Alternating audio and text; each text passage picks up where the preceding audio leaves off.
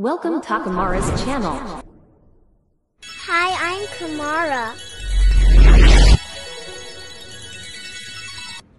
With mom.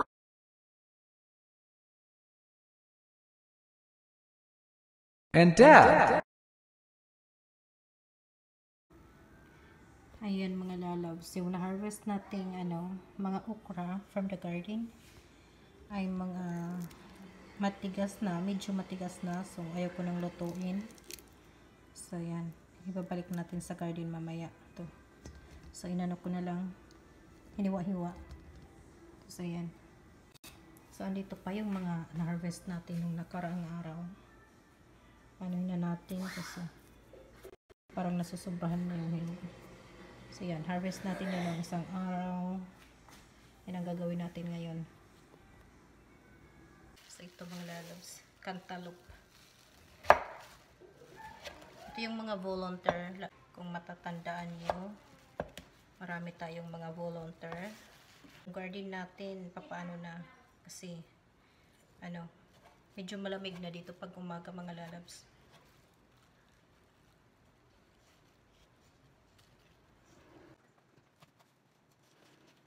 So, ito. Mga maliit lang, pero mga hinog na, matatamis sila. Ayaw ko naman sayangin. Ayaw kong magsayang. So, yeah.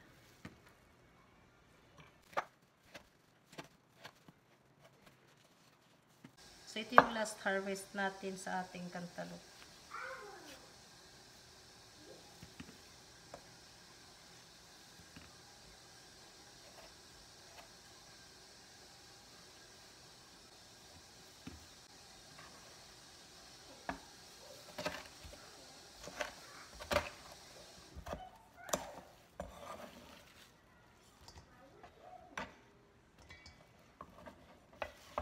So, yan mga lalabs. So, ito yung last harvest natin sa ating cantaloupe. Ayan.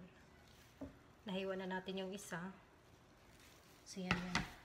Mga volunteer to lahat mga lalabs.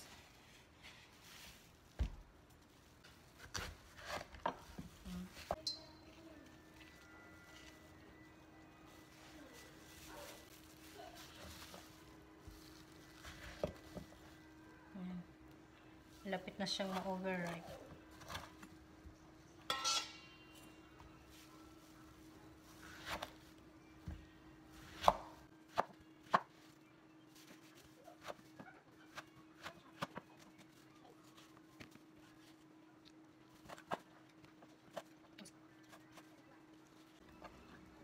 Palang kaasikaso.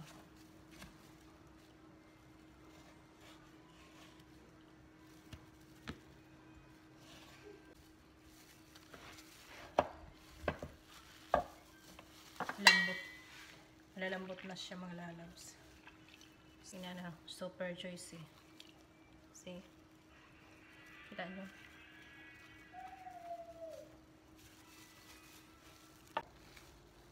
Sa pangatlo na to mga lalabs.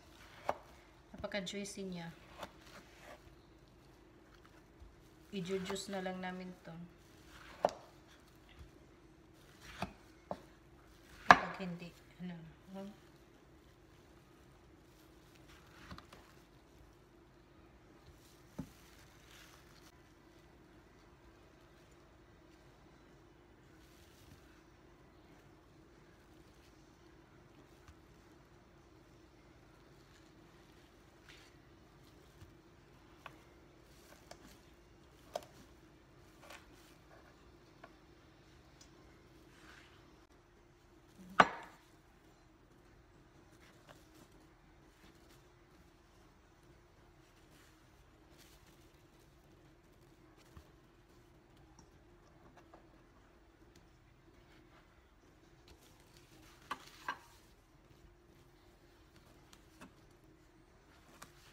Ito malapit ng masubrahan.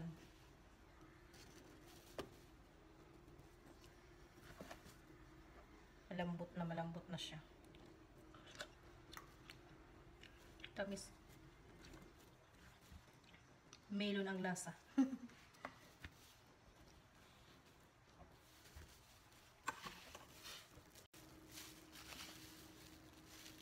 Pang-apat na to.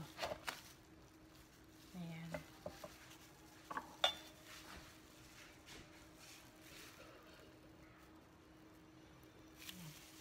Ala- Ano na, sobrang lambot na siya. Sobrang lambot yun, ah. Super juicy.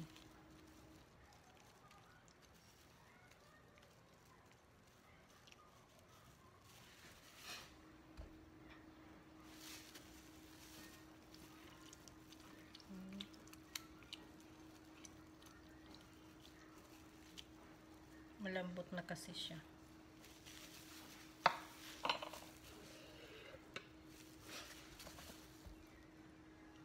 So, tanggalin ko na yan.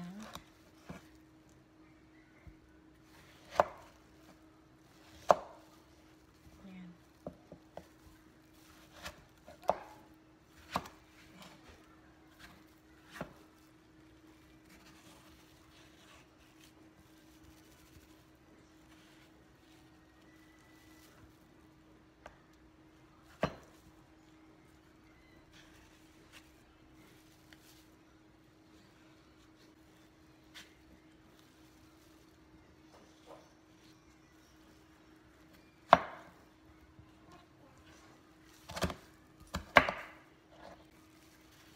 Okay lang din mga lalabs kasi hindi naman siya masasayang. Pupunta din naman siya sa garden at magiging fertilizer siya doon. So, hindi masyadong sayang siya.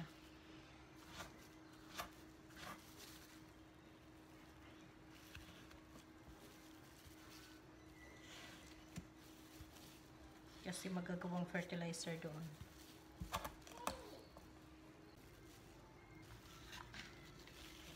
Panglima. Ayan. Panglima na to. Ayan. Napaka-juicy.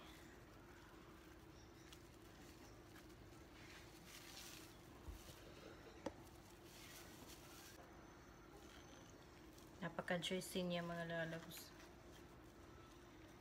Kapag hinog na. Ayan.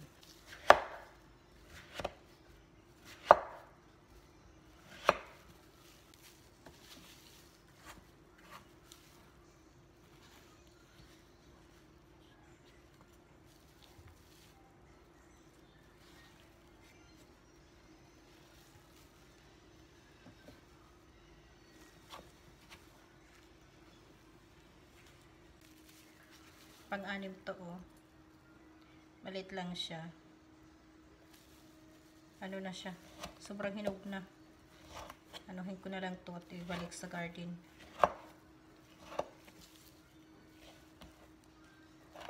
Ayan.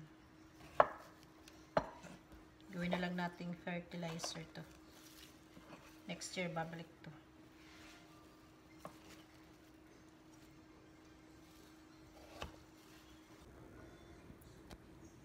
So, ito na lahat mga lalabs. Ito na yung last na harvest natin sa ating kantalok. Last harvest of the year. So, ayan. So, ito siya. Gawin nating juice mamaya. Ilalagay muna natin sa fridge.